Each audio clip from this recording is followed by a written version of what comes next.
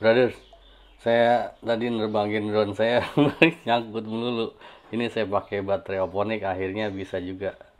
Yang lain pada drop baterainya. Saya mau cerita atau dongeng ke teman-teman ngadron sambil ngadongeng gitu ya. Saya seneng banget di hobi ini karena hobi ini saya jadi banyak teman, banyak anak-anak suka pada ngeliat gitu. Saya suka ke anak-anak karena mereka adalah generasi penerus kita gitu. Kemudian saya juga jadi karena sering upload di YouTube jadi ketemu sama Om Jakra perwakilan lelaki yang belum married Mbak Dep yang udah married dan masih kayak bingung. Mohon maaf nggak tahu kadang. Kemudian Yohanes Yep perwakilan generasi muda gitu. Kalau saya emang kalau buat ketemuan-ketemuan males. Apain sih ketemuan-ketemuan? Yang penting kita kan bisa menyampaikan yang penting ilmu untuk hidup gitu kan? Gitu. Kalau anda pengen tahu tentang saya saya tuh dari kecil ini saya umur lima tahun itu almarhum bapak saya nikah lagi. Itu sebagai gambaran bahwa apa saya mikirin hubungan pria pria wanita itu udah sejak lama. Lebih dari 40 tahun yang lalu saya mikirin apa penyebabnya gitu lelaki begini apa penyebabnya perempuan begini itu saya pikirin. Dan kalau anda tahu karena latar belakang saya di kampung saya bisa kuliah. Saya tuh dulu setelah SMA saya D3 terus D4 terus S2 terus S3 itu tuh semua biaya negara. Sampai sekarang pun saya dapatnya dengan beasiswa. Gitu. Jadi e, itu perjuangan saya untuk mendapatkan apa yang saya ini sekarang saya anda mungkin nggak tahu bahwa saya tuh menitikan air mata ketika saya memperoleh e, apa yang saya tuju dalam hidup. Karena itu perjuangan berat buat saya. Walaupun saya nggak ingin anda mengalami makanya saya siringkan.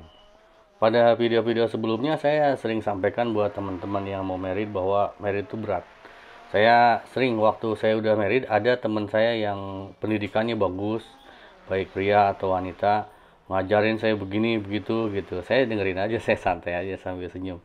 Dan ketika dia yang merasakan dia yang married nggak usah nunggu sampai puluhan tahun. Dua tahun nangis aslinya dua tahun nangis. Bukan di depan saya di samping saya karena saya nggak tega. Kok gini kang ya? Ngomong ke, ke teman saya. Saya cuma nyaksikan aja. Artinya teori itu perlu pengetahuan itu perlu. Tapi lebih penting lagi praktek ya om ya kita bagaimanapun kita nontonin dengerin atau orang kalau kita nggak praktek kita nggak akan bisa. Eh, praktek adalah kunci untuk kita bisa menguasai sesuatu. Dan mengenai apa namanya merubah sesuatu ya tidak ada kok tidak ada lelaki atau perempuan yang bisa merubah siapa pun tidak ada.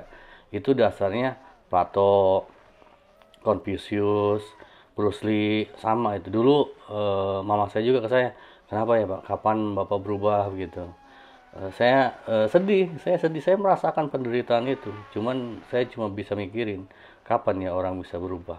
Dan ternyata tidak ada. Tidak ada seorang pun yang bisa merubah siapa pun.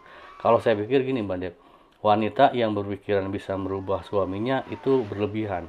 Karena suami itu bukan tanggung jawab istri suami yang mempertanggungjawabkan istrinya gitu kebalikannya. Jadi jangan pernah berpikir bahwa uh, wanita bagaimanapun anda cantiknya anda kayanya anda cerdasnya anda tidak akan bisa merubah siapa pun. Itu saya tahu juga dan sering dengar bahwa wanita itu hanya nurut hanya nurut ke suaminya jika dinyamankan. Ini saya tahu itu gitu. Dan saya juga untuk kondisi saya saya tidak ingin merubah siapa pun karena saya tahu bahwa mereka itu berubah paling kalau berubah pun paling segituan ketika diturutin aja kemauannya. Pas kemauannya nggak turutin dia nolak ngeledek lagi ke kita gitu. Biarin aja gak masalah itu kalau menurut saya sih. Mungkin kayak Om Jakral kalau yang belum married ngeliat wah married itu berat sekali. Emang berat Om. Saya juga kalau ngelihat kayak Om Rudi gitu Om Rudi kan anaknya cewek. Saya bayangin ngurusin istri aja udah puyeng apalagi ngurusin anak-anak yang cewek lebih puyeng lagi. Tapi dah emang gitu kita memfasilitasi dan mengasihi dengan sepenuh hati kita untuk orang-orang yang menentang kita. Itu itu ya, kuncinya hidup itu kan seperti itu. Saya merasakan itu. Dan saya juga ingat kata Mbak Dep kemarin bahwa istri itu akan mensupport suami sepanjang suaminya nggak macem-macem kalau macem-macem ya rasain aja gitu. Kalau saya sih ngedengar istri ngomong gitu saya langsung merespon. Ya kalau saya sih memandang kewajiban istri adalah mendoakan suami. Kalau saya dapat istri yang nggak mendoakan suaminya saya ganti aja istrinya ribet amat gitu. Karena saya berpikiran kalau laki itu bukan tugasnya mendoakan istri. Tugas mendoakan itu ada di pihak istri. Lelaki itu memfasilitasi bekerja berusaha menafkahi nggak usah berdoa. Yang mendoakan ya perlu maksudnya bukan nggak usah. Perlu berdoa tapi bukan jadi core-nya bukan jadi yang prioritasnya. Prioritasnya lelaki itu berusaha gitu. Makanya saya dalam video-video saya menyampaikan bahwa modal dasar untuk lelaki itu cuma dua kok. Yang pertama itu punya skill untuk mencari nafkah yang kedua bertanggung jawab. Tanpa itu kita akan melalaikan tugas kita setelah kita memberi nafkah dan memfasilitasi keluarga kita itu kita kembalikan sepenuhnya hak Tuhan untuk e, menyamankan keluarga kita gitu. Karena kita sekali lagi tidak bisa kok mengendalikan apalagi merubah hati siapa pun. Istri kita mau bersyukur mau senang ya itu e, hanya Tuhan yang tahu dan hanya dirinya sendiri yang bisa merubah cara pikirnya tidak ada seorang suami pun yang bisa. Saya udah ketemu kok dengan wanita yang udah pernah 10 kali menikah.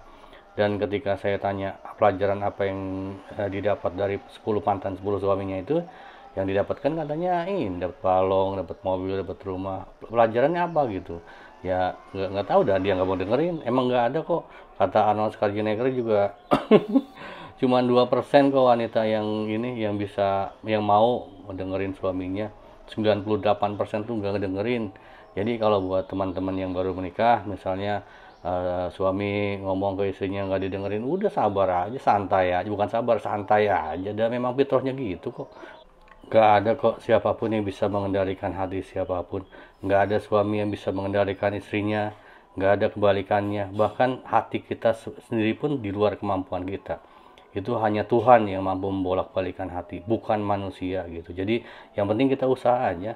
Saya aja lu usaha aja terus latihan terbang. Siapa tahu besok saya bisa tripisin buat double tripis spin kali dan itu saya enjoy gitu. Anda mau dislike atau like pun terima kasih karena saya tahu tidak dari Tuhan. Awesome